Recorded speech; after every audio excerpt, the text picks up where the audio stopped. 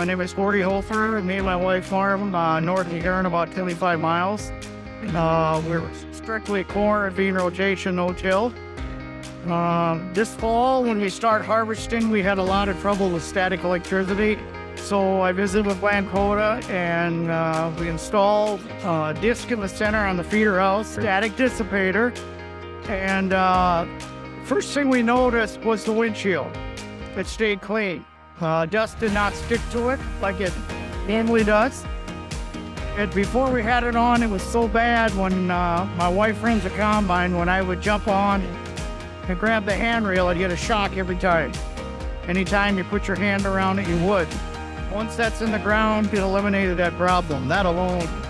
As dry as it's been here, it's been a real concern of starting a fire. We actually have a chain that we had been dragging, but uh, when we drug the chain, it didn't make any difference. The ground is so dry, it wouldn't do any good. You'd still get the shocks. Yeah. We've had a chain on there for the last, I don't know, five, six years, but it's been so dry, it just didn't help at all. Definitely for the sake of uh, static electricity and for the sake of cleaning the windshield. You know, they're really fun to crawl up and clean the front windshield. My wife was, uh, Charlotte was very happy that she doesn't have to do that every morning.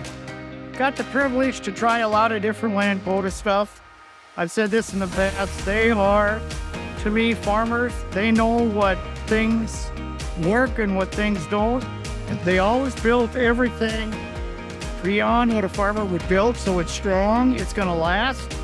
Uh, got a lot of confidence when they come out with something new. I really look at it because it always works.